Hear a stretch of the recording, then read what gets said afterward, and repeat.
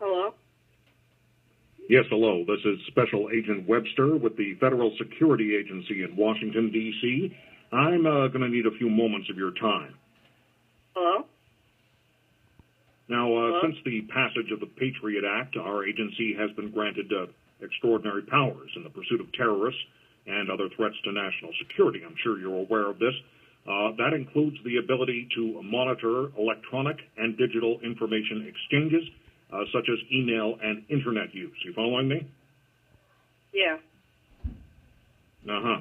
Now, the reason for my call is that in the course of one of our investigations, and I cannot obviously reveal any details of that investigation, but in that course, we had reason to monitor the internet usage at your address. You understand? Uh huh. Now, the results show that someone at your address is using the internet to view quite um, graphic images of a uh, sexual uh, nature, uh, images that are not legal under American law. Now, were you aware of this? Yeah. I'm sorry. Well, you'll get a chance to make a full statement later.